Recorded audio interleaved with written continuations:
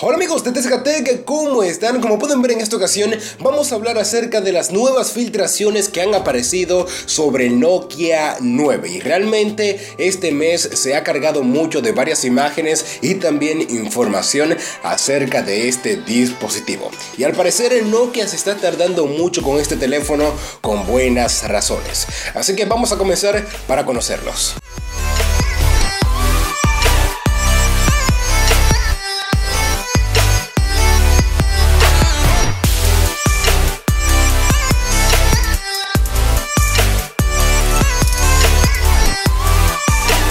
Sí, como les dije al principio de este video, al parecer el Nokia 9 va a ser un teléfono que va a traer muchas novedades y como pueden ver en estas imágenes que se han filtrado, el teléfono al parecer va a contar con 5 cámaras. 1, 2, 3, 4, 5, sí con cinco cámaras. Realmente algo un poco descabellado, pero sí que realmente va a ser un boom. Y como pueden ver también, si nos fijamos en la parte trasera, si hacemos zoom, va a ser en colaboración con la compañía 6. O sea, van a ser muy buenas cámaras. Además, si nos fijamos en la parte trasera, hay un detalle que no se nos puede escapar y es que no encontramos un lector de huellas dactilares como lo vemos habitualmente en los teléfonos de Nokia.